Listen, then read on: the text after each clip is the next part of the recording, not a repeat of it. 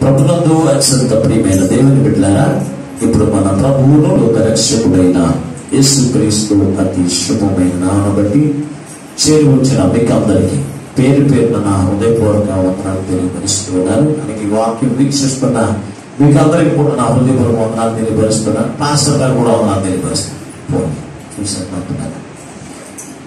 ప్రభునందు అత్యంత ప్రియమైన దేవుని బిడ్డారా మరొకసారి దైవ సన్నిధి అనుభవాన్ని పొందుకోవడానికి ప్రభు చూపినటువంటి కృపను బట్టి మనం ఎంతగానో ప్రభుని బట్టి ఆనందించవలసినటువంటి వారు ఉన్నాం. దేవుని వా- నామం బట్టి ఎంతగానో గణపరచవలసినటువంటి వారు ఉన్నాం. ఏదేమైనప్పటికీ ఇదేనా మాకు ప్రభు వారు మనతో మాట్లాడుచున్న వాక్య భాగాన్ని చదువుకుందా. మార్పు రాసిన సువార్త పద్నాలుగవ అధ్యాయము. మార్పు రాసిన సువార్త పద్నాలుగవ అధ్యాయము. పన్నెండో వచ్చిన నుండి పదహారు వరకు ఉన్న భాగాన్ని ఆపకుండా బాగా చదవగలిగిన వారు చదవండి.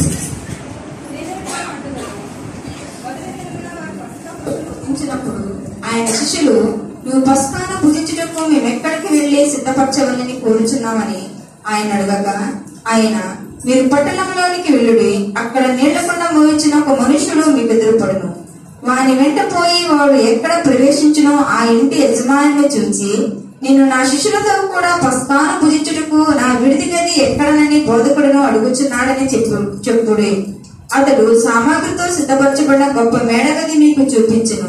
అక్కడ మన కొరకు సిద్ధపరచుడని చెప్పి తన శిష్యులలో ఇద్దరిని పంపిను. శిష్యులు వెళ్ళి పట్టణంలోనికి వచ్చి ఆయన వారితో చెప్పినట్టు పలువురి పస్తాను సిద్ధపరచరి.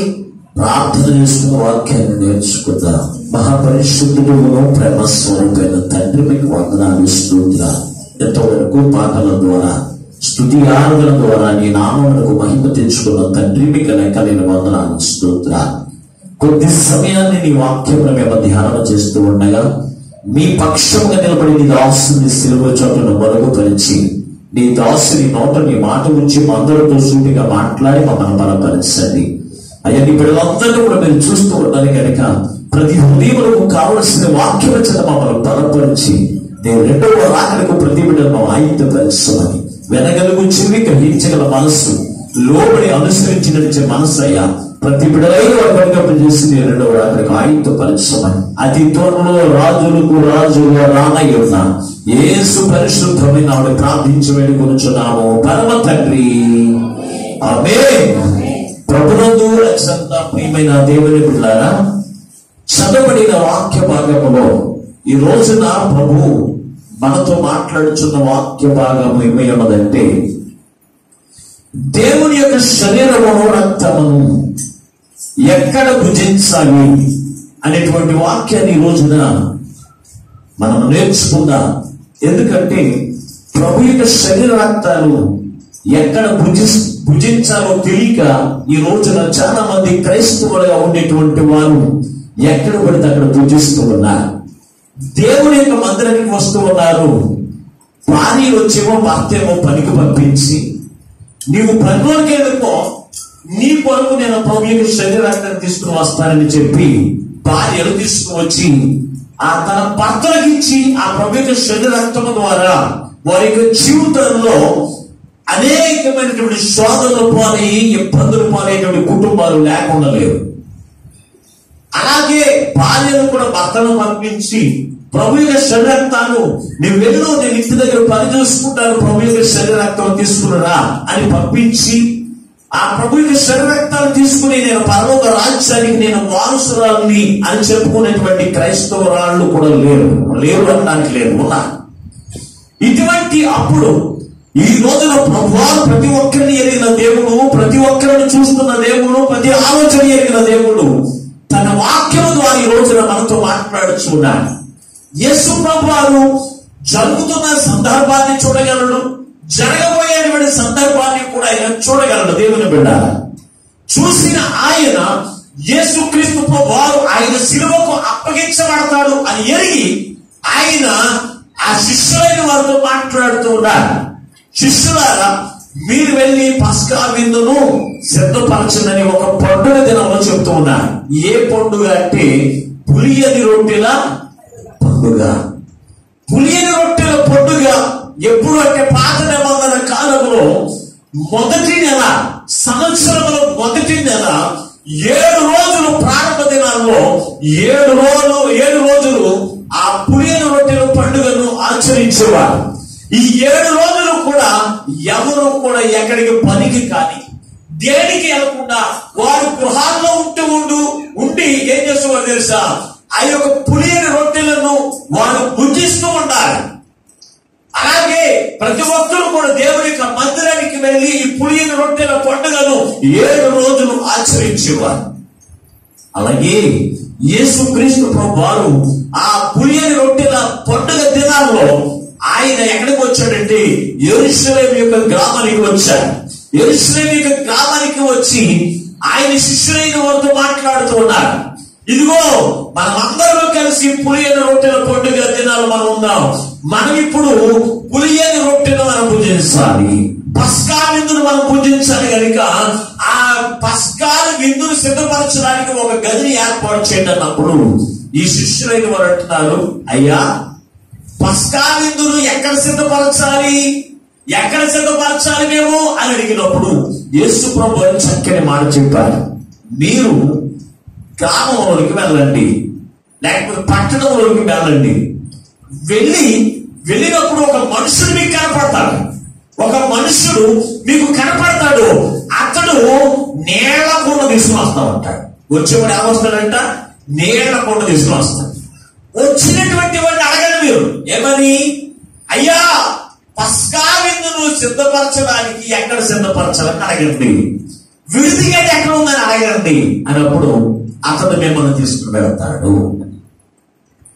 చెప్పినప్పుడు అలాగే శిష్యులైన వారు అడిగారు. అడిగినప్పుడు ఒక నేల కూడదు ఒకడు కనపడాడు అతని దగ్గరికి వెళ్ళి అడుగుతూ ఉన్నాడు అయ్యా పస్కా విందుని మనం ఎక్కడ సిద్ధపరుచుకుందాం? అన్నప్పుడు నాతో కలిసి వెళ్ళని ఒక గదిలోకి తీసుకుని వెళ్ళాడు గదిలోకి తీసుకుని వెళ్ళినప్పుడు అక్కడ పస్కా విందు సిద్ధపరచబడింది. అక్కడే శిష్యులైన వారందరూ కూడా ఆ పస్కా విందును భుజించినటువంటి వారిగా మనము చూడగలుగుతూ ఉన్నాము దేవుని బిడ్డలారా. అంటే ఈ చదవబడిన ఈ యొక్క వాక్య భాగములో విందు ఎక్కడ చేస్తారు విడిది గది ఎక్కడ అని దేవుడు అడిగాడు. ఆ విడిది గది ఎవరు చూపించారు?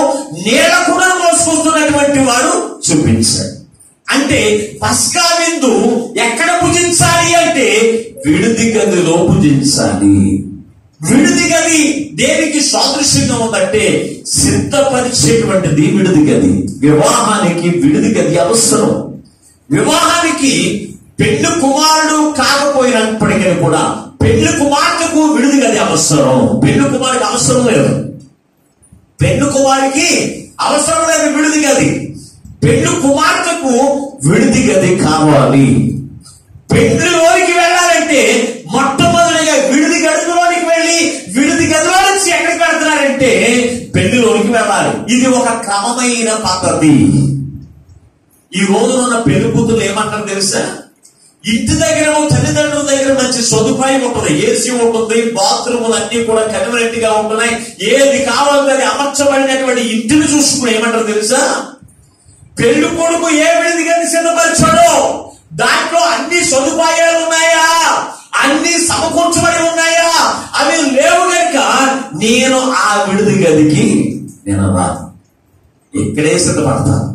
ఇక్కడే సిద్ధపడి పెళ్ళి టయానికి కారు పంపించండి కారు ఎక్కేసి నాకు పెళ్ళి వచ్చి కూర్చుంటాను. ఇది క్రమం అంటారా? ఇది క్రమమా? పెళ్ళి కుమార్తెకు ఒక సిద్ధపాటు కావాలి. ఆ సిద్ధపాటు కాలంలో ఏ పనులు కూడా చేయరు పెళ్ళి కూతురు చేస్తారండి? పెళ్ళి కూతుర్లు ఏమైనా పని చేస్తారా?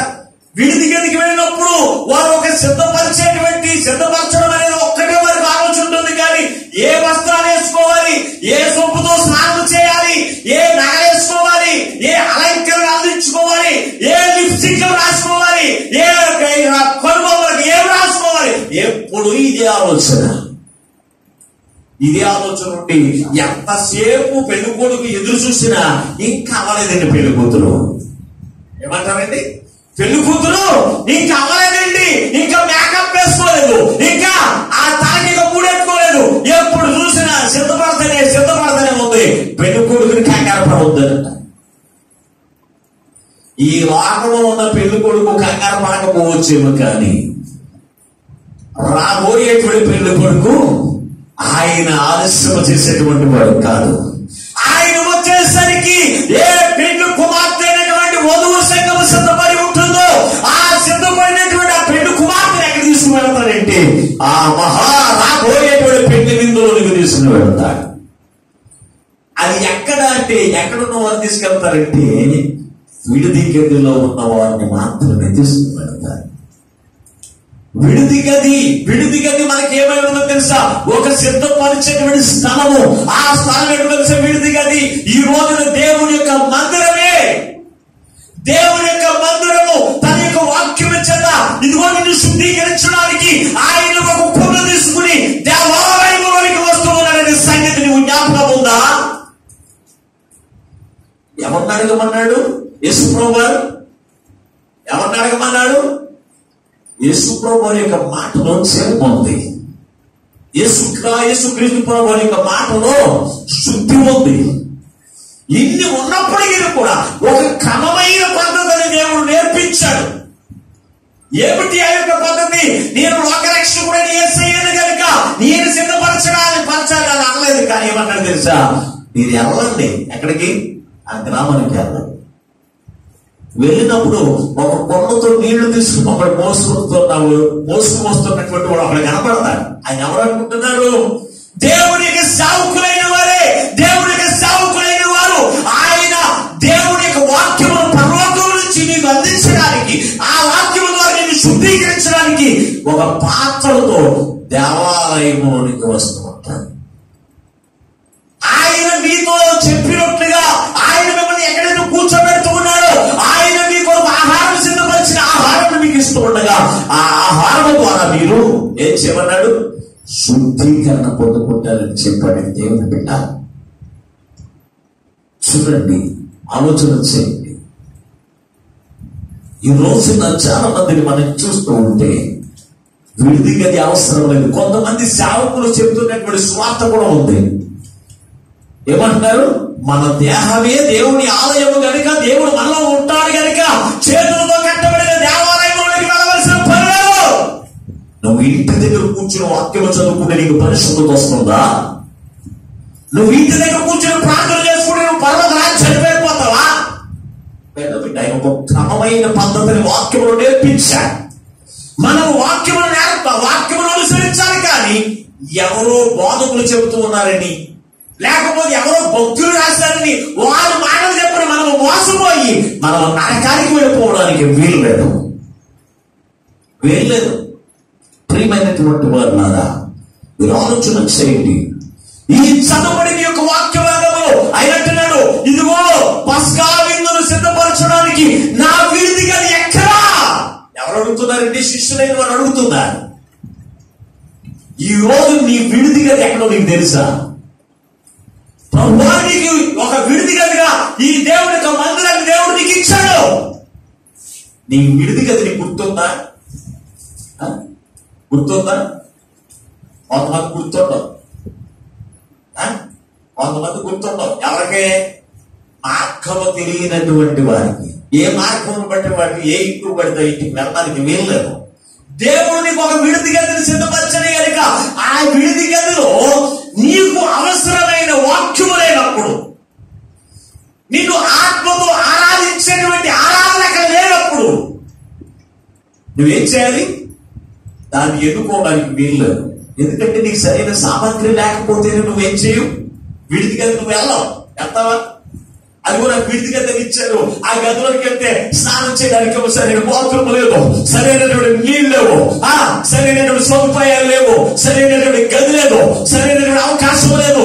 అనుకూలత లేదు. నేను రెడీ అవ్వడానికి సరైనటువంటి సిద్ధపాటు కలిగి ఉండడానికి అక్కడ అవకాశం లేదు కనుక నేను ఆ గదిలోకి వెళ్ళాను మరి నువ్వు వెళ్ళేటువంటి మందిరంలో వాక్యము లేకపోతేను. నువ్వు వెళ్ళేటువంటి మందిరంలో సరైన ఆరాధన లేకపోతేను. నువ్వు వెళ్ళేటువంటి మా మందిరంలో సరైన క్రమం లేకపోతే నువ్వేం చేస్తావు? ఏది తింటే మా అమ్మ మా నాన్న ఆ గుడికి వెళ్ళారు కదా నేను ఆ గుడికి వెళ్ళిపోతాను. మీ అమ్మ మీ నాన్న ఆ గుడికి వెళ్ళారు కనుక ఆ గుడికి వెళ్ళిపోతావా? మీ అమ్మ మీ నాన్న ఆ నరకానికి వెళ్ళారు కనుక ఆ నరకానికి వెళ్ళిపోతావా? అందులో సరైనటువంటి సదుపాయములు ఉన్నాయా? సరైనటువంటి వాక్యమైనటువంటి నీరు ఉందా? సరైనటువంటి ఆరాధన ఉందా? సరైనటువంటి స్థుతి ఆరాధన ఉందా? ఎప్పుడైనా గమనించావా? సరైన క్రమం ఉందో గమనించవా?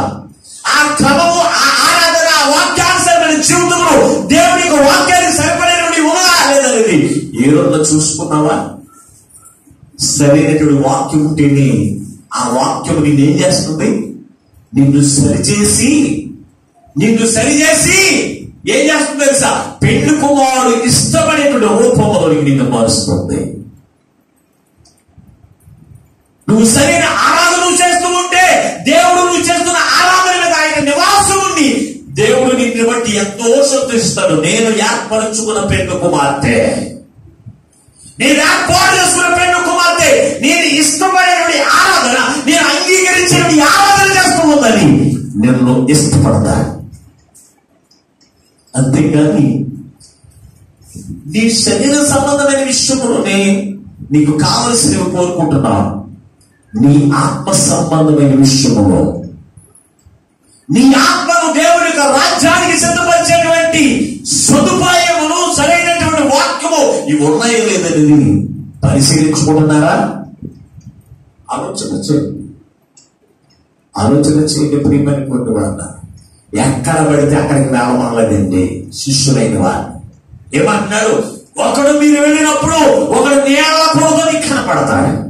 ఆ నీళ్ళ కొండతో ఉన్నవాడు మిమ్మల్ని ఎక్కడైతే ఒక గదిలోకి తీసుకుని వెళ్తాడో నీ విడి ఆయన విడిది గది.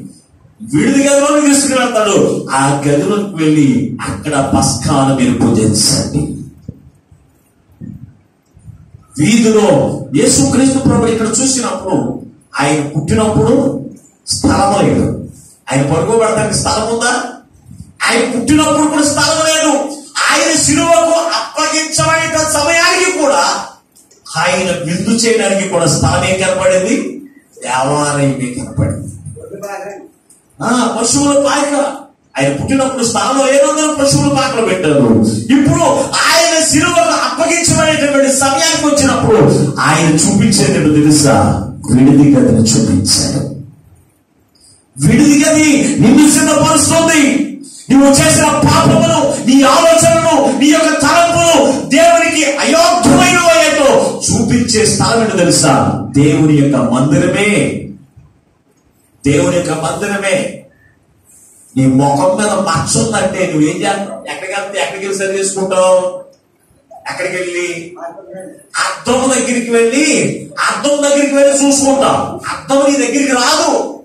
నీ మచ్చలు చూపించడానికి నీ యొక్క నీకున్నటువంటి వంకరతనాన్ని నీ వేసుకున్నటువంటి పాపడి ఒక్కరిగా ఉందో లేదో ఇవన్నీ అర్థం నీ దగ్గరికి వచ్చి చూపించదు కానీ నీవు అర్థం దగ్గరికి వెళ్ళి ఏం చేస్తావు? ఆ అర్థంలో చూసుకుని సరి చేసుకుంటావు.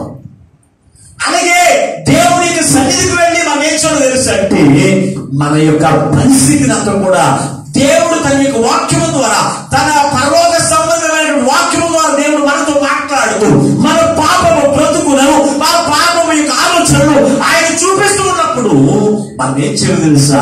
ఆ వాక్యం ద్వారా మనం సరి చేసుకుంటూ పెళ్ళి కుమారు యొక్క ఇష్టపడేటువంటి రీతిగా మనం ఏం చేయాలి? జీవించేటువంటి వారిగా ఉండాలి. కొంతమంది ఎవరు చేస్తారు ఎలాగంటే పెళ్ళి కుమారుడైన ఏసయ్యను ఇష్టపడేవారు. పెండు కుమారుడైన ఏసయ్యను ప్రేమించేవారు మాత్రమే అలాగూ చేయగలరు. పెళ్ళి కుమారుడు ప్రేమించేవాడు కొంతమంది పెళ్ళి కూతుర్ని పెళ్ళి కూతుర్ని పెళ్ళి కొడుకు పెట్టినప్పుడు పెళ్ళి కొడుకు ఏమో పెళ్ళి కూతుర్ని ఇష్టపడతా ఉంటాడు. పెళ్ళి కూతురేమో పెళ్ళి కొడుకుని ఇష్టపడదు. ఇష్టపడదు కనుక పెళ్ళి కొడుకు అంటాడు నాకు ఇష్టమైన రీతిగా ఉండాలంటే నువ్వు చీరలు కట్టుకోవాలి డ్రెస్ వేసుకోవద్దు అంట. పెళ్ళి కూతురు ఇష్టపడదు కదా? ఏమంటుంది? మార్చుకుంటుందా ప్రవర్తన? ఆ మసిమోహముడికి నేను డ్రెస్ వేసుకోవద్దా? ఆ? నేను డ్రెస్ వేసుకోవద్దా? నేను డ్రెస్ వేసుకోండి చేసుకుని చేసుకుని ఆవిడ పంపనాడు కదా? పెళ్ళి కొడుకు అందంగా చెప్పాడు. ఆయనకి ఇష్టమైన రీతిగా నువ్వు ఉండాలి అంటే నువ్వేం చేయాలి? డ్రెస్ చేసుకోవద్దు అందంగా లక్షణంగా మంచి చీర కట్టుకో ఏం చేస్తారు? అదే ఆ పెళ్ళి కూతురు పెళ్ళి కొడుకుని ఇష్టపడింది అనుకో. అది కష్టమైనా సరే ఏం చేస్తారు తెలుసు అంటే ఆయనకి ఇష్టమైన రీతిగా తన శరీరాన్ని మలుచుకుంటుంది వస్త్రధారణ మలుచుకుంటుంది చూపు మార్చుకుంటుంది ప్రవర్తన మార్చుకుంటుంది ఆలోచన మార్చుకుంటాను అదే ఇష్టపడినోడైతే నువ్వు అందరితో కలిసి తిరిగితే నిన్ను నేను పెళ్ళి చేసుకున్నాను అనుకోండి నువ్వు అందరితో కలిసి నీ స్నేహితులతో అందరూ కలిసి ఈదులంటే అత్తమాడు తిరుగుతూ ఉన్నావు. అది నాకు నచ్చలేదు. నువ్వు నచ్చలేదు ఎప్పుడు ఆ పని చేయొద్దంటే నువ్వైతే చేసుకునేది నేను ఇలాగే తిరుగుతాను. అదే ఇష్టపడితేను ఆయనతోనే వివాహం అవసరమైన కీవికి ఏం చేస్తుందో తెలుసంటే తప్పనిసరిగా పంచుకుంటుంది అలాగే మనము కూడా దేవుని యొక్క రాజ్యానికి వారసులుగా మనం ఉండాలి అంటే పెళ్ళి కుమారుడు యేసు వారు ఆయన చెప్పినటువంటి మాటలు దేవుని యొక్క మందిరంలో మనకు దొరుకుతాయి. ఆ మందిరంలోకి వెళ్ళినప్పుడు ఆయన నువ్వు ఎలా ఉండాలో నీ నడక ఉండాలో నీ ప్రవర్తన ఉండాలో నీ ఆలోచన ఎలా ఉండాలో నీ క్రియలు ఉండాలో ఆయన తన వాక్యము ద్వారా నీకు చెప్తున్నప్పుడు నువ్వేం చేయాలి తెలుసా? ఆయన చెప్పినట్లుగా నీ పరిస్థితిని నీ స్థితిని ఆలోచన నీ ప్రవర్తన మలుచుకుంటే ఆయనకి ఇష్టమైన రీతిగా ఉండగలుగుతారు అది ఎక్కడ దొరుకుతుందంటే ఆ సిద్ధపాటు ఎక్కడ దొరుకుతుందంటే దేవుని యొక్క మందిరములోని. ఆయన మందిరంలో దొరుకుతుంది కనుక ఆయన మందిరంలో మనము శుద్ధీకరణ పొందుకోవాలి అంటే మనం శుద్ధీకరణ పొందుకోవాలంటే దేవుని యొక్క వాక్యం కావాలి. అందుకే ఎఫ్ఎస్సి పత్రిక ఐదవ అధ్యాయములో తను ప్రేమించిన సంఘముల గురించి అక్కడ మాట్లాడుతూ ఉన్నాడు. చూడండి ఒకసారి ఎఫ్ఎస్సి పత్రిక ఐదవ అధ్యాయము. ఎఫ్ఎస్సి పత్రిక ఐదవ అధ్యాయము చూడండి తన సంఘమును కూర్చొని రాస్తూ ఉన్న మాట చూడొకసారి పంతొమ్మిది వచ్చిన చదవండి. ఇరవై రెండో వచ్చిన స్త్రీల ప్రభు అని ఎన్నో వచ్చిన వెంటనే మీ భార్యను ప్రేమించు పురుషులారా మీరు మీ భార్యను ప్రేమించుడి. అటువలే క్రీస్తు కూడా అందువలే క్రీస్తు కూడా సంఘమును ప్రేమించి సంఘమును ప్రేమించి అది కళంకమైన అది కలైకమైనను ముడత అయినను ముడత అయినను అట్టిది మరి ఏదైనా లేక మరి ఏదైనా లేక పరిశుద్ధమైనది పరిశుద్ధమైనది గాను నిర్దోషమైనది గాను మహిమగల సంఘము మహిమగల సంఘముగా ఆయన తన ఎదుట ఆయన తన ఎదుట నిలబెట్టుకున్నకు వాక్యముతో వాక్యముతో ఉదక స్నానము చేత దాన్ని పవిత్రపరిచి ఎలాగా? పవిత్రత ఎలా వస్తుంది? వాక్యముతో. శరీరానికి పవిత్రత ఎలా రావాలి? గురువాసనతో పోవాలి అంటే ఏం చేస్తాం మనం? ఉదయం నుంచి సాయంత్రం వరకు కష్టపడి పని చేస్తాం. శరీరం అంతా కూడా చెమట మొత్తం వచ్చేస్తూ ఉంటది. దాన్ని మనం ఏం చేస్తాం? నీళ్ళతో నీళ్ళతో మనం శుభ్రపరుచుకుంటాం. మంచి విలువైన సొప్పు తీసుకుని మంచి సువాసన కలిగిన సొప్పు తీసుకుని శరీరాన్ని శుద్ధీకరించుకుంటే నీ పక్కన ఇంకొక నిలబడగాడు నువ్వు స్నానం చేయకపోతే మురుకు కొంపు కొడుతూ నువ్వు తాగేసి నీ నోరు నీ శరీరం అంతా కూడా ఆ మందు వాసన చేస్తుంది అనుకో. ఎవడ ఉంటాడండి పక్కన? ఎవరు ఉండరు వాంతులు అయిపోతూ ఉంటాయి పక్కన ఉన్నవాళ్ళు. నేను ఒకడు దూరంతో ఉంటాను తాగుపోతాడు ఆ దగ్గర చూసినప్పుడు ఆడు అప్పటికే మూడు రోజులు బట్టి నాలుగు రోజులు బట్టి స్నానం చేయడంట. భార్యకి చెప్పేటువంటి సాక్ష్యం ఉండదు అది ఎప్పుడు మోగుతూనే ఉంటాడంట. శరీరం అంతా కూడా వాసన వస్తే మనకు అసలు నిద్ర అర్థం కాదు కదా వాంతులు అయిపోతాం ప్రారంభమవుతాయి. అటువంటి మనం దగ్గర నుంచి అంచలేదు అలాగే మనం చూసినప్పుడు శరీరంలో శుద్ధీకరణకు నీరు నీరు ఎలాగైతే అవసరమైనదో నీ ఆత్మకు కూడా శుద్ధీకరణ కావాలి. శరీరాన్ని ఎప్పటికప్పుడే శుద్ధీకరించుకుంటా. పొద్దున్నసారి స్నానం చేయకపోతే సాయంత్రం ఒకసారి స్నానం చేయకపోతే మధ్యాహ్నం ఒకసారి స్నానం చేయకపోతే ఈ యొక్క యాసకాలం నీ దగ్గర ఎవరు ఉండలేరు. ఎందుకంటే సరైన కరెంట్ ఉండదు కదా. ఇన్వైటర్ ఉన్న వాళ్ళకి ఎందుకు పర్వాలేదు. రోజుకు ఒకసారి స్నానం చేసినా ఎవరికి మురికి కొంపు పడదు. మరి యాసకాలం ఎప్పటికప్పుడే చెమట కాలిపోతూనే ఉంటాయి. కానీ ఈ మురికి వాసన ఈ చెమట వాసన పోవాలంటే ఇవేం చేస్తావు?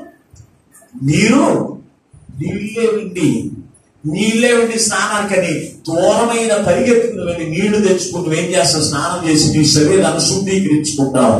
మరి నీ ఆత్మకు రెండు మూడు వారాలు కాదు కదా నెలలు కాకపోతే నీ శరీరానికి నీ ఆత్మ ఉన్న కళంకము పోతుందంట ఎంత గొప్ప దేవునికి?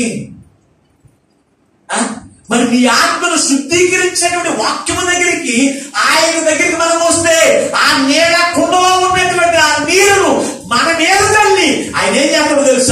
మన మీద ఉన్నటువంటి కళంకమును మనకు ఉన్నటువంటి మచ్చ బావు ఇవన్నిటిని కూడా కడిగి వేసి పవిత్రపరిచి ఆయన మహిమ గల సంఘముగా నేనేం చేస్తానంటే సిద్ధపరిచే స్థానమే దేవుని యొక్క మందిరం.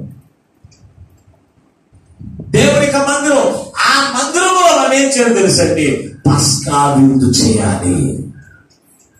పరిశుద్ధ గ్రంథంలో పస్కా విందులు ఎలా చేయాలో ధర్మశాస్త్రంలో మోషే గ్రంథం ద్వారా దేవుడు రాయించాడు. చూడండి ఒకసారి. నిర్గమకాండము పన్నెండవ అధ్యాయం నిర్గమకాండము పన్నెండవ అధ్యాయం నలభై మూడవ వచ్చిన నుండి కొన్ని మాటలు చదువుకుందాం.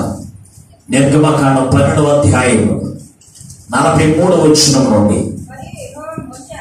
మరియు మోషే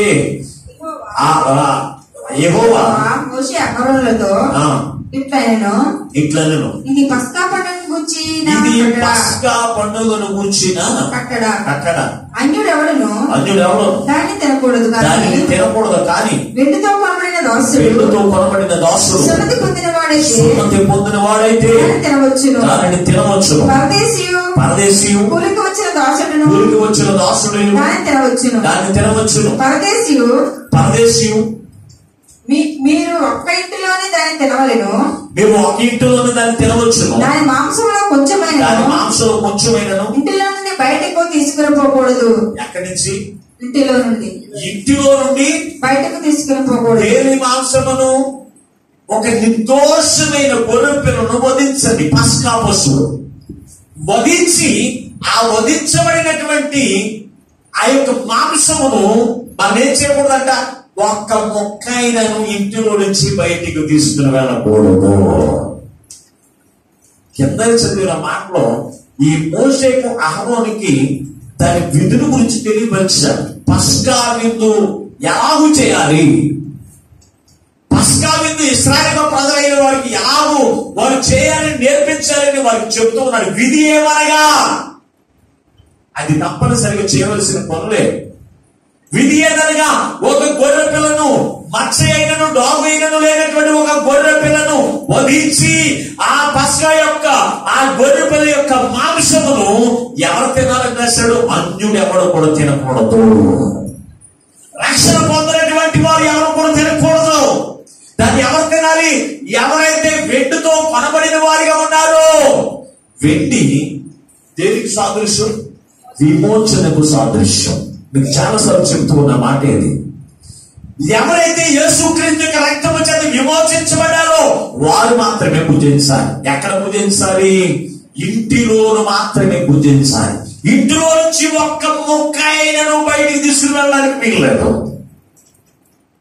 అలాగని వారికి నేర్పించమన్నప్పుడు ఇస్రాయిల్ అందరూ అలాగ చేశారంట. కింద చదువుకోండి ఇంటికి వెళ్ళిన తర్వాత మాట్లాడుతుంది ఇంటికి వెళ్ళిన చదువుతాం చదవండి ఒకసారి నలభై మూడు నుంచి యాభై ఒకటి వరకు ఉన్నటువంటి వాక్య భాగం అదే.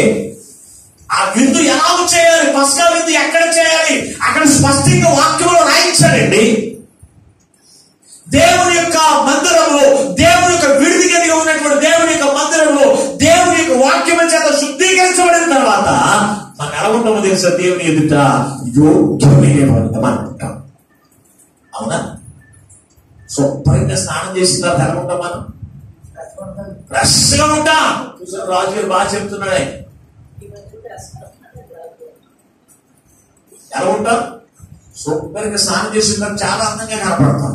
ఎందుకంటే మన మురికి అంత కూడా బాగుంటుంది కనుక మరి ప్రభు యొక్క శరీర పుచ్చుకునే విషయంలో మనం ఏం చేయాలి?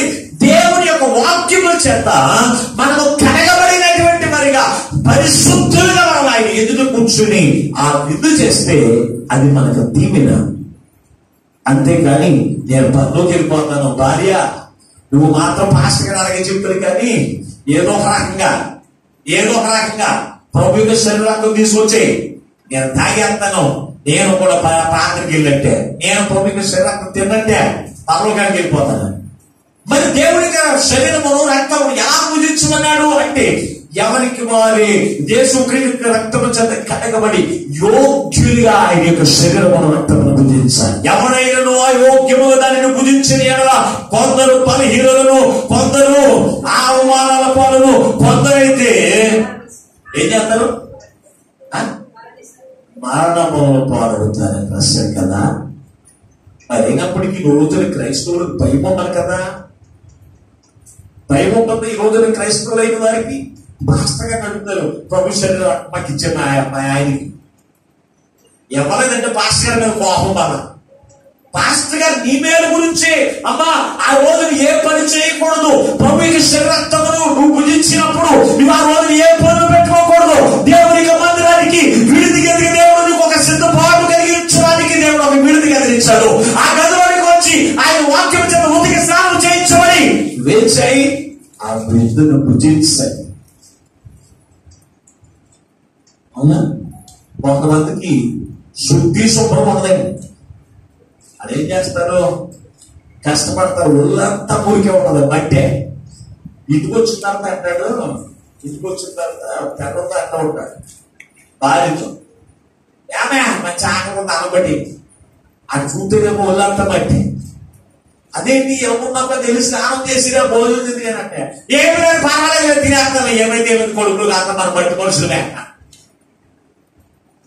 కొందరైతే ఎంత ఆకలితో ఉన్నా ఏం చేస్తారు శుభ్రంగా స్నానం చేసి వచ్చి ఒకవేళ భార్య పెడతానన్నా కానీ ఏమంటారు తెలిసి నేను స్నానం చేసి ఉంటాను అందాక రెడీ చేయని చెప్పి ఏం చేస్తారు శుభ్రంగా స్నానం చేసిపోతుంది అవునా అవునా ఇలా పద్ధతైనోడు ఇలా చాలా పద్ధతైనోడు కొంతమంది శుద్ధి శుభ్రం ఉండదు రే మారవాళ్ళ చేతులు వేస్తాను ఏంటి అప్పటికి వాసన పోదు చేతి కురుకు వాసన ఇలాగ అనేసి తినేస్తావా మరి నీ నీ శరీరానికి ఏమవుతుంది అది జబ్బులు తీసిరన్నది. అవునా? ఇక్కడి నుంచి ఉన్న వైరస్ అంతా పాకేస్తా ఉండదు చేతిలోకి నువ్వు చేయి కడుక్కున్నాక చేయి కడుక్కున్నా ఈ శరీరంలో ఉన్న వైరస్ అంతా చేతిలోకి వచ్చేంత నువ్వు తినేస్తా ఉంటావు.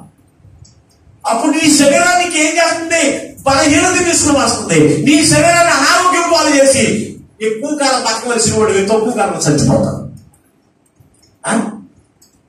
అదే నువ్వు పరిశుద్ధమైన జీవితమును జీవిస్తూ పరిశుద్ధముగా నువ్వు ఆహారం భుజిస్తూ నువ్వు జీవిస్తే చేస్తే కనుక నువ్వు కొంతకాలం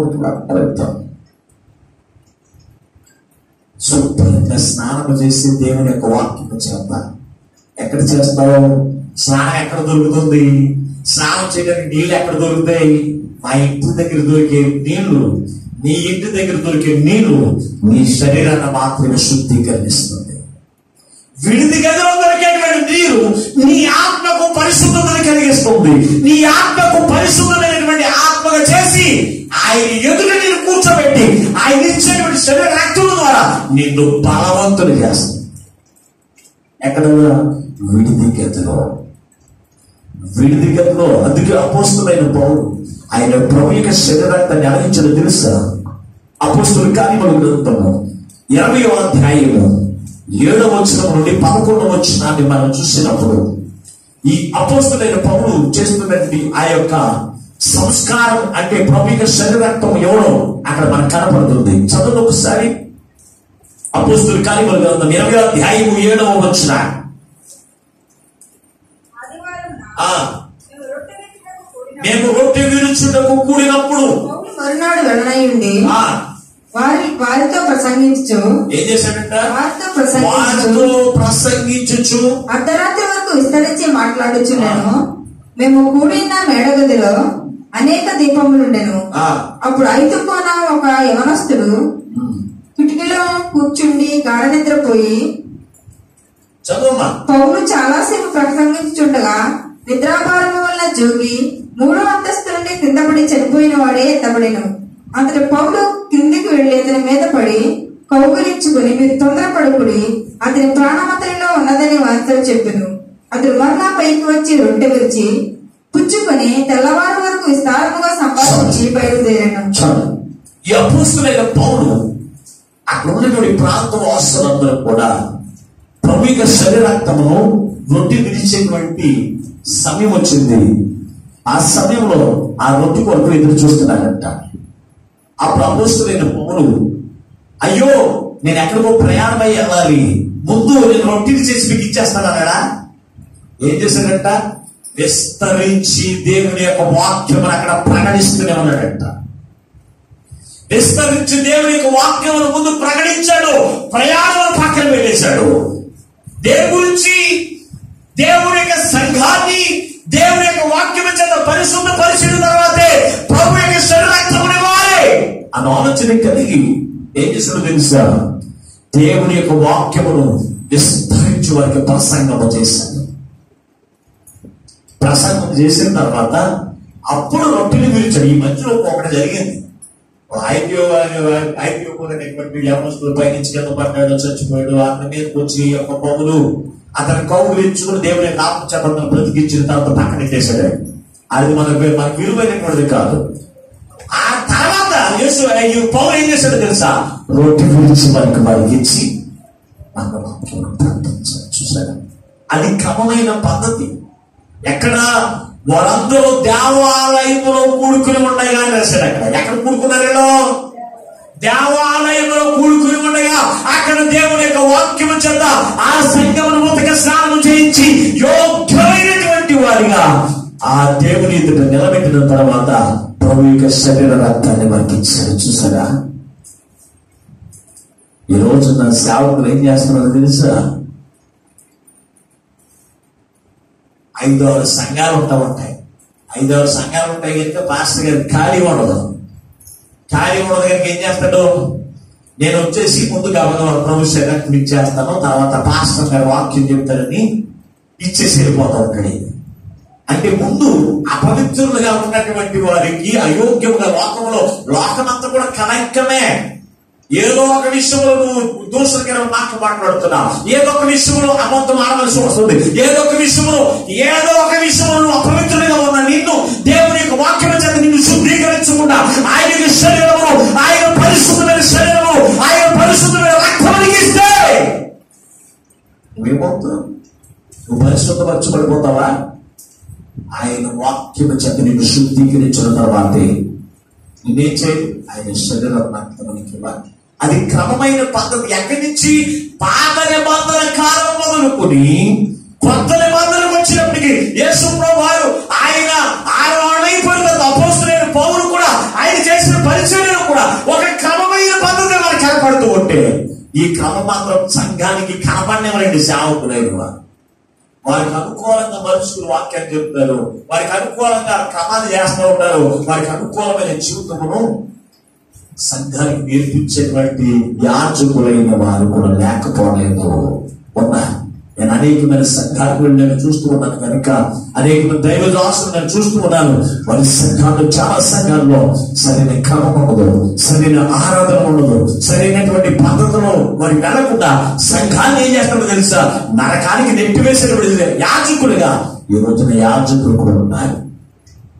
ఇది విశ్వాసం యొక్క తప్పే కాదండి. యాజకులు కూడా మనుషులైన వారిని నరకానికి పడిపి పంపించేటువంటి యాజకులు లేకపోవడం. దేవుని బిడ్డారా చూడండి అయితే ఈ విడిది గదికి కొన్నిసార్లు మనం ఏం చేస్తామంటే కుటుంబంలో జరుగుతున్నటువంటి పరిస్థితులు కుటుంబంలో జరుగుతున్నటువంటి శోభను బట్టి మనం విడిది గదికి వెళ్ళడానికి చాలా మంది ఇష్టపడండి ఒక కుటుంబం యేసుక్రీస్తు ప్రభు ప్రేమించిన కుటుంబం. ఏమైనా కుటుంబం అంటే మరియా మాత లాజర్ అని ఒక కుటుంబం. ఆ కుటుంబంలో లాజరు చనిపోయాడు. లాజరు చనిపోయాడు. చనిపోయిన తర్వాత అనేక మంది ఈ మరియా మాటను పలకరించడానికి ఆదరించడానికి అనేక మంది వస్తున్నారంట. చదువుతాం ఒకసారి బాగా అర్థం అవడానికి చూడ ఒకసారి యాహను సువార్త పదకొండవ అధ్యాయం. యాహాను సువార్త పదకొండవ అధ్యాయం. ఇరవై ఎనిమిదవ వచ్చిన కింద మా కొన్ని మాటలు చదువుకుందా? ఆమె ఈ మాట చెప్పి వెళ్ళి బోధకుడు వచ్చి బాధకుడు వచ్చి నిన్ను పిలుచున్నాడని నిన్ను పిలుచుచున్నాడు తన సహోదరి అయిన మరియను సహోదరి అయిన మరియను రహస్యముగా పిలిచాడు రహస్యముగా పిలిచాను. ఆమె విని ఆమె విని త్వరగా లేచి త్వరగా లేచి ఆయన ఎదుకు వచ్చాను. ఆయన ఎందుకు వచ్చింది ఏసు ఇంకా గ్రామంలోనికి రాక యేసు ఇంకను ఆ గ్రామములోనికి రాక రాక మార్త ఆయనను కలుసుకున్న చోటనే ఉండెను. మాట ఆయన కలుసుకునే చోటనే ఉండను. కనుక కనుక ఇంటిలో మరీతో కూడా నుండి ఇంటిలో మరీతో కూడా ఉండి ఆమెను వాదాచుచున్న ఆమెను యూదులు మరియా మరియా త్వరగా లేచి వెళ్ళుట చూచి మరియా త్వరగా లేచి వెళ్ళుట చూచి ఆయన సమాధి అంత ఏడ్చుటకు ఆమె సమాధి యొద్దకు ఏడ్చుటకు అక్కడికి వె- వెళ్ళుచున్నదనుకుని వెళుతున్నదేమనుకుని ఆమె వెంట వెళ్ళి ఆమె వెంట వెళ్ళి అంతటా మరియా అంతట మరియా యేసు చోటుకు వచ్చి యేసు ఉన్న చోటికి వచ్చి ఆయనను చూచి ఆయనను చూచి ఆయన పాదముల మీద పడి ఆయన పాదముల మీద పడి ప్రభువా చాలండి ఇక్కడ చదవబడిన వాక్య భాగంలో ఎవరికి ఈ లాజరు ఎలాగంటే అతడు రోగియే చనిపోవడానికి సిద్ధంగా ఉన్నాడు అనేటువంటి సమయంలోనే యేసు ప్రభుకి వారికి వర్తమానం పంపించారు కానీ యేసు ప్రభు వాడు ఆయన కావాలని ఆలస్యంగా వచ్చాడు. ఎక్కడికి వచ్చాడు? వచ్చిన వాడు ఎక్కడికి రావాలి? ఎక్కడికి రావాలి యేసు ప్రభు వారు? ఉన్న కుటుంబంలోనికి రావాలి. బాధలో ఉన్న ఆయన దేవాలయంలోకి వచ్చి నిలబడ్డాడంట అప్పటికే మరి మాట ఎక్కడికి వచ్చింది యేసు ప్రభు ఉన్న స్థలంలోకి వచ్చింది.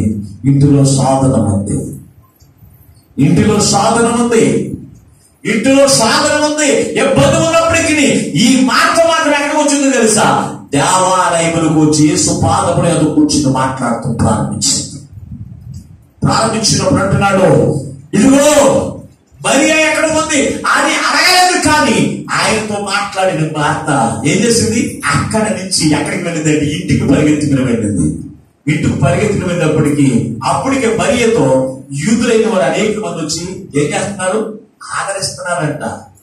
ఆదరిస్తున్నారు. అయ్యో మీ తమ్ముడు చనిపోయాడు మేము బాధపడకు.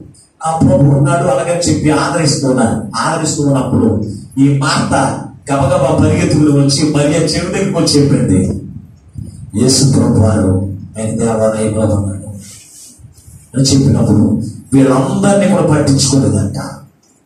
ఆ కుటుంబంలో ఆదరించడానికి వచ్చిన వారిని ఓదార్చడానికి వచ్చినటువంటి వారిని ఎవరిని పట్టించుకోకుండా వారికి ఒక్క మాట కూడా చెప్పకుండా అక్కడ లేచి ఎక్కడికి పోయింది. యేసు ఉన్నటువంటి స్థలంలోకి వెళ్ళిపోతుందంట. ఈ శిష్యులందరూ కూడా ఇక్కడ ఉన్నటువంటి యూదులందరూ పలకరించినప్పుడు వచ్చి అందరూ అనుకున్నారంట ఈమె సమాధి దగ్గరికి వెళ్ళి ఏడవడానికి వెళ్తుంది రాజు సమాధి దగ్గరికి వెళ్ళి ఏడవడానికి వెళ్తుంది అనుకున్నారంట. అని కూడా వెళ్తున్నారంటే ఏడవ కూడా. కానీ ఈమె ఎక్కడ వచ్చిందంటే యేసు ఉన్న స్థలంలోనికి వెళ్ళింది. చూసారా యేసు ఉన్న స్థలంలోనికి వెళ్ళి ఆయన పాదముల మీద పడి ఆయన చెబుతున్నటువంటి మాటలు వింటూ ఉన్న దేవుని బిడ్డలారా చూడండి. అప్పుడు యేసు పదండి సమాధి దగ్గరికి వెళ్తా ఎక్కడి నుంచి వెళ్ళాడు? యేసు ఇంటికి వచ్చాడా? సమాధుల దగ్గరికి వెళ్ళాడా? లేదు ఆయన ఉండేటువంటి నివాస గృహంలోకి వెళ్ళాడు.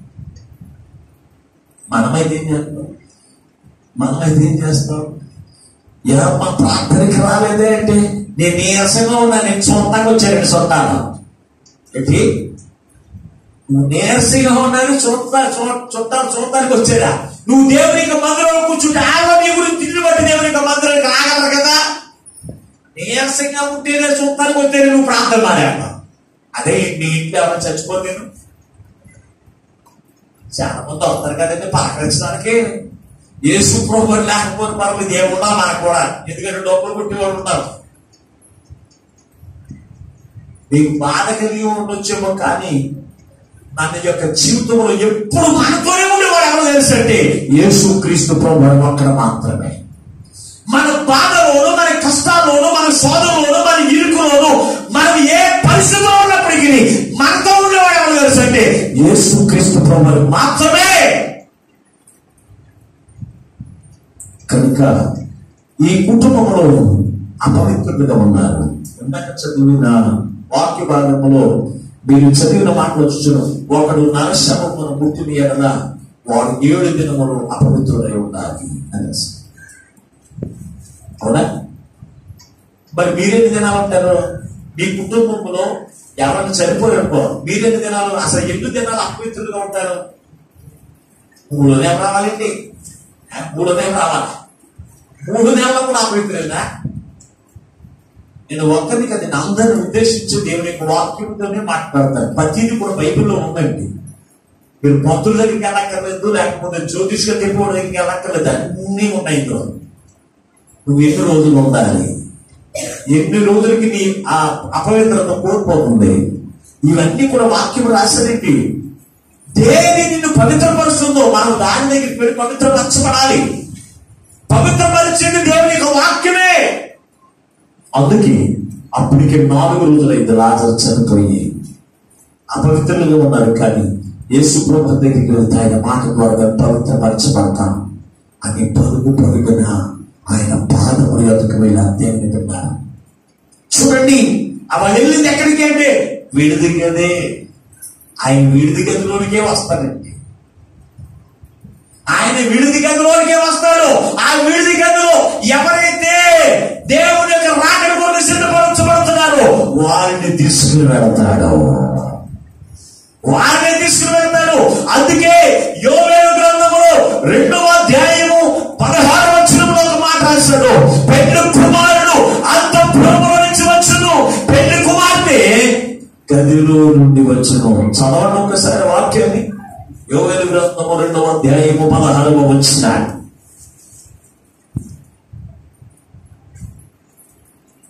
జనులు సమకూర్చుడి ఆ చదువులను సమకూర్చుడి సమాధి కూడము ప్రతిష్ఠించుడి ఆ. పెద్దలను పిలువనంపించుడి ఆ. చిన్నవారిని స్థాన సన్నిప సన్నిపానము చేయి బిడ్డలను తోడుకుని రండి పెళ్ళి కుమారుడు అంతఃపురంలో నుండి పెళ్ళి నుండి రావలేను. ఎక్కడి నుంచి రావాలి? పెళ్ళి కుమారుడు ఎక్కడి నుంచి రావాలి?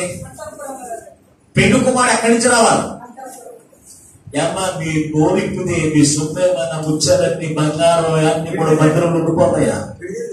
పెళ్ళి కుమారుడు ఎక్కడి నుంచి రావాలి? అంత పూర్వలో నుంచి రావాలి. పరలోకమేనా అంతఃపురం చేరాలనేనా తాపత్రయం. ఎక్కడిచ్చింది పరలోకం ఏమిటి? పరలోకం ఏంటి? అంతఃపురం పెళ్ళి కొడుకు ఎక్కడి నుంచి అంత పూర్వముల నుంచి వస్తాడు దేవుని మిళ్ళారా పెళ్ళి కుమార్తె ఎక్కడి నుంచి రావాలి గదిలో నుంచి రావాలి ఆ గది ఏంటో తెలుసా? దేవుని యొక్క మందిరమే. మరి వాక్యం అబద్ధం అంటారా అబద్ధం అంటారా అబద్ధం కాదు.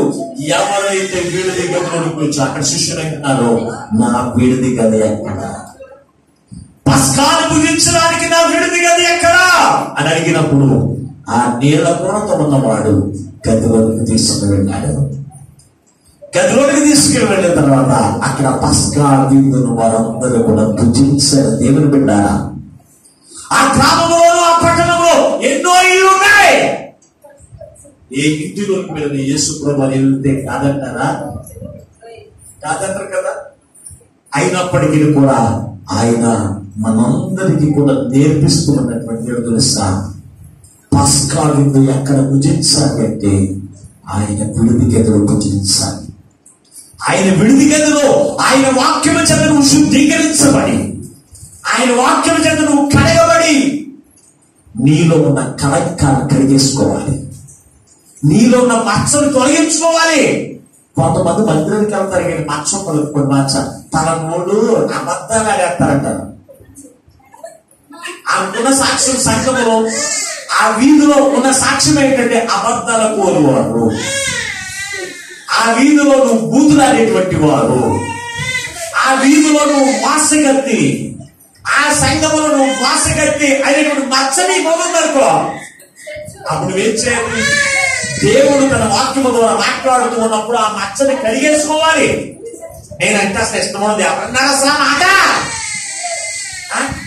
పాస్టర్ గారి మీద కూడా మనసు అయిపోతారని చెప్పి పాస్టర్ గారు కూడా భయపడిపోవాలి ఎవరన్నారు అసలు మాట చెప్పు. నన్ను అబద్ధికులని ఎవరన్నారు చెప్పు నేను మోసగెత్తానని. ఎవరన్నా చెప్పు. నేను సారీ చెప్పేదని చెప్పు. ఆ గొడవైన నేను ఎదుగుతానంటారు కానీ నీ మోస క్రియలను నీ అబద్ధపు ఆలోచనలు నీ యొక్క జీవితమును నీకున్నటువంటి మచ్చను దేవునికి వాక్యం చేత కనుక్కోవాలని మరి ఈ చెప్పిన జ్ఞానం నీకు ఉందా ఉందా? నోరు ఉంది నోరేసి పడిపోవడం కాదు పది మంది చేపలు వెనకాల ఉన్నారని చెప్పి. వారందరినీ తీసుకుని వారి మీద వెళ్ళిపోవడం కాదు. దేవునికి సన్నిధికి వచ్చిన నీవు నీ కలంకాన్ని నీ మచ్చను నీకున్న డాగును ఏం చేయాలి? శుభ్రంగా వాక్యం ద్వారా తెలియజేసుకోవాలి. అప్పుడు అవి ఎందుకు చేస్తేనంట అది మనకు దీవెనికరంగా ఉంటుంది. అప్పుడు ఆ విందు చేయడం మనకి దీవెనకరంగా ఉంటుంది. పచ్చలని నీవే పెట్టేసుకుని డాకులని నీవే పెట్టేసుకుని కళంకాలని నీలో పెట్టేసుకుని ఆయన శరీర రక్తం తింటే కనుక అది నీకు దీవెన కాదు. అది నీకు ఆరోగ్యము కాదు. నీకు ఆశీర్వాదం కాదేమి? ఎందుకు ఈ రోజున తన వాక్యం ద్వారా నీతో మాట్లాడుతూ ఉన్నాడంటే నువ్వు దీవెనకరంగా ఉండాలి. నువ్వు ఆరోగ్యకరంగా ఉండాలి. నువ్వు పరలోకంలో అంత పూర్వము క్రీస్తుతో ఎల్లప్పుడూ జీవించాలనే ఉద్దేశంలోనే క్రీస్తు నీతో మాట్లాడుతుండగా ఆయన విందుసాలను మర్చిపోవద్దు. ఆయన విందుసాలను మర్చిపోవద్దు. ఆయన నీ కొరకు సిద్ధపరిచిన విడిది గదిని మర్చిపోవద్దు. ఆయన విడిది గదిలో నీవు రెడీ అవ్వడానికి అన్నీ ఉన్నాయి.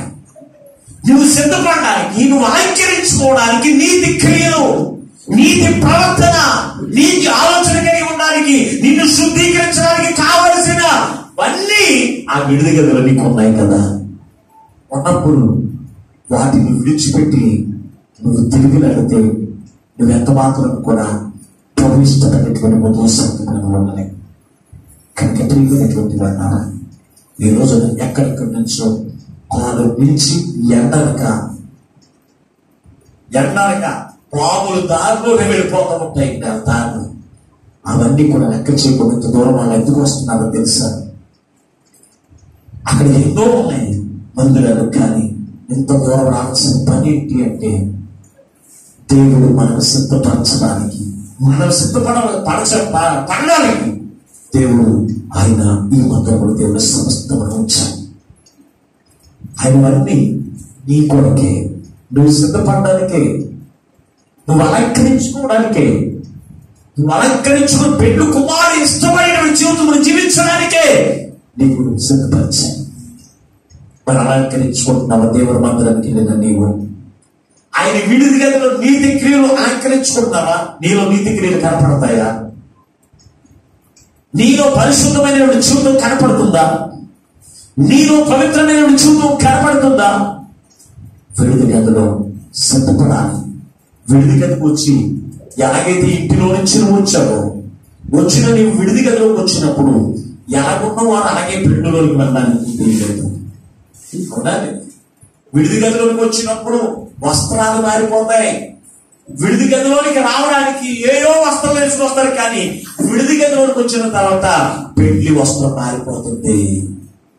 ఎలా ఉంటుంది వస్త్రం పెళ్ళి చీర సరైనది లేకపోతే పదివేల రూపాయల చీర లేకపోతే నేను కట్టుకోను. నేను అసలు పెళ్ళి కదా అని అంటపోతున్నాను అవునా? వస్త్రం ఉండాలి నగ ఉండాలి అలంకరణ లేకపోతే ఊరుకోరండి ఊరుకుంటారా యవనస్తులు? మా స్వీట్ అసలు ఊరుకోదు అసలు షాప్లోనే అంటారు కొన్ని వరకు అలాగే దేవుని యొక్క మందిరంలోనే మనం ఏం చేయాలి? ఈ అలంకరణతో మనల్ని అలంకరించుకుని ఆ నా అలంకరణ దేవునికే కాదు నా ఇరుగు పొరుగు వారికి నా సైన్యానికి నాకున్నటువంటి బంధువులకు అందరికీ నా అందమైన సౌందర్యమైన రూపమును నేను చూపించాలి. అది ఆలోచన క్రైస్తవుడు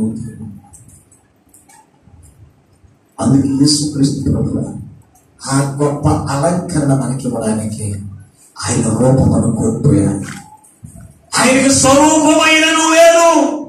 అది పదివేల మందిలో సుందరుడైన యేసు క్రీస్తు ప్రభువారు. నీ కొరకు నా కొరకు ఆయన రూపం లేకుండా ఇప్పుడు ఎందుకో తెలుసా? నీకు నాకు పెన్ను కుమార్తె రూపం ఇవ్వడానికి. పెన్ను కుమార్తెకు అలంకరణ ఇవ్వడానికి. ఆయన రూపమును కోల్పోయాడు ఆయన ప్రేమను గ్రహించగలుగుతున్నాం ప్రియమైనటువంటి వధువు సంగమం అందుకే నా విడిది గది ఎక్కడ? నా విడిది గది ఎక్కడ?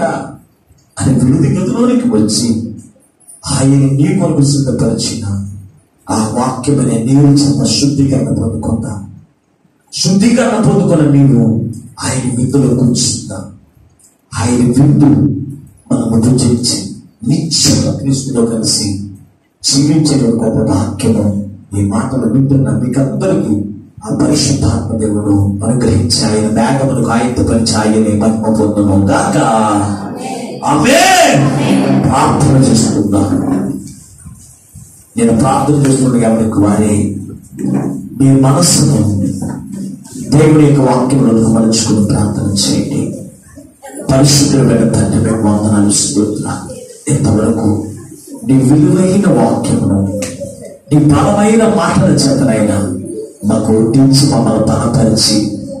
అయ్యా నీ విందులోనికి మమ్మల్ని నడిపించిన తండ్రి మీకు వందనాలు స్తోత్రం ఇది మాకు విడుది గది. ఈ విడుది గదిలో మేము ఎలాగో అలంకరించుకోవాలో మేము ఎలాంటి వస్త్రములు వేసుకోవాలో అయ్యా మేము ఎలాగో ప్రవర్తించాలో సమస్తమును శుద్ధీకరించుకునే స్థలము తండ్రి. మేము మేము చాలా ఆకరించుకునే తండ్రి. నీ విందు చేస్తే అది మాకు దీవెనని. నీ వాక్యం ద్వారా మాతో మాట్లాడు. వ్యక్తపడిన నీ మాటలు తండ్రి. వ్యక్తపడిన నీ మాటలయ్యా.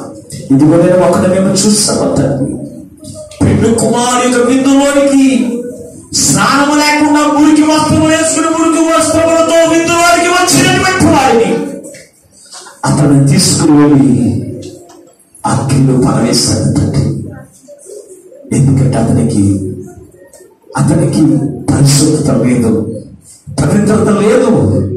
అటువంటి వారిగా కాకుండా పరిశుద్ధమైన మధుర సంఘమున నీ వాక్యము చేత ఉదక స్నానము చేతనైనా మా బ్రతుకులు మా ఆలోచనలు మా తలంపులు శుద్ధీకరించుకుని యోగ్యమైన వారిగా విందు చేసి ఆ విందును బట్టి పరలోక సంబంధమైన విందులో పాలిపోవస్తుండగా ఈ వాక్యం విన్న ప్రతి బిడ్డలైన వారిని సంతరించి మీరు మహిమల పొందమని అతి త్వరలో పిల్ల కుమారుడిగా రాని ఉన్నా.